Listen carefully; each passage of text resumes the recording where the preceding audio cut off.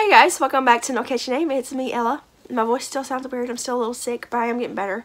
I feel a whole lot better today. My throat's not sore at all, and I still just got some congestion, but uh, I'm, I'm doing better.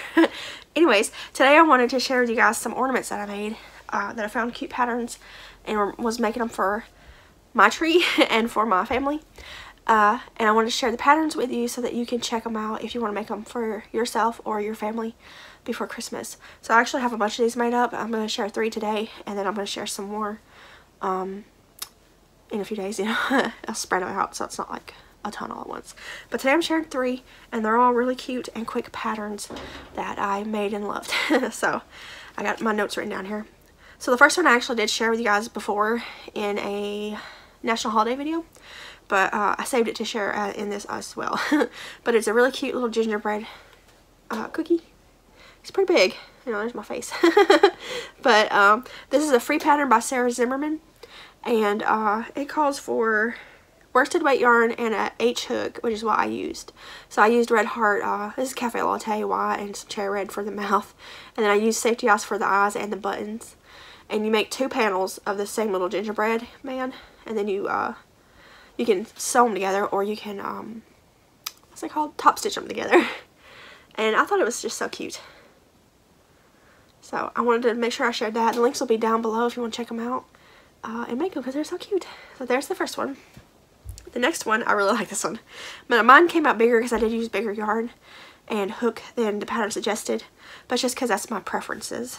So this pattern is called The Slinky Christmas Characters by Selena Lazarus.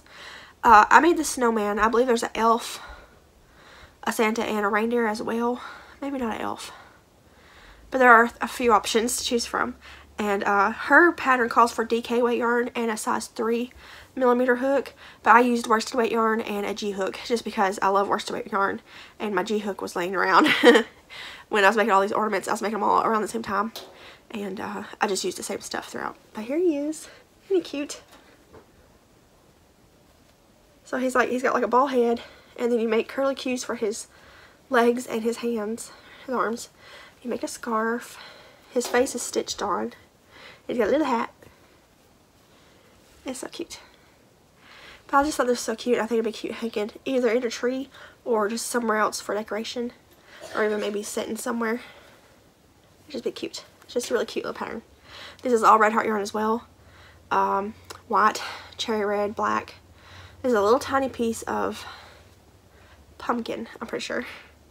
Did he has fiberfill in his head, which you could also use uh, tails or anything. Does he just shut the door? I guess he don't like hearing me talk. but uh, I think it's cute. Mine is bigger. If you do follow the pattern exactly, using a smaller yarn and smaller hook, it'll come out smaller. But I like that it's big. I think it's cute. But there's, I know there's a uh, reindeer and a Santa. I can't remember if there's a elf. But then it's snowman. But yeah, so that's the second one. And again, the links will be down below. That is free as well. And then the last one is a really simple, quick one that I whipped up and I just thought was cute. And it's also free. and I'll also have it linked down below for you guys. And it is called Christmas Ribbon Ornament by Melissa Mall. And uh, it is written with worsted weight yarn and a G-hook. so it's just perfect to go with those two. But it's just a little Christmas ribbon. Like the candy. And it's really simple. It's made in like a long strip and then you, the way you um feed the hanger through it, uh, you can, you know, squish it up and make it look, you know, like Christmas candy. it's hard to, um, say, you know, to explain that. but I did use the same yarns pretty much. It's Red Heart Cherry Red, white, and, uh, I can't remember if this is Paddy Green or Kelly Green or the tree one. it was just a scrap ball that I had. But I think it's super cute. I think it's, um, just a cute little ornament and I like these little candies. I've never actually had one like to eat, but I like the image of them, you know, uh, to set around. It's just uh, retro, I guess, and really cute. And you can whip out a bunch of these and gift them, or if you wanted a candy-themed tree, you can make these and some candy canes and peppermints and stuff, you know. And I just thought that was so cute. So that's the three little ornaments I want to share with you guys today. I think they're so cute. I'd like to make this again, but in a lighter color brown. Although gingerbread is dark. But I just feel like he's a little too dark. I'm having a hard time breathing because I'm congested and I'm also pregnant.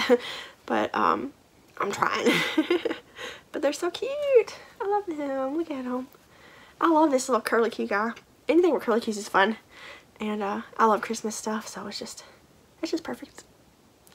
But yeah, so I wanted to share those. All the links will be down below if you want to check them out.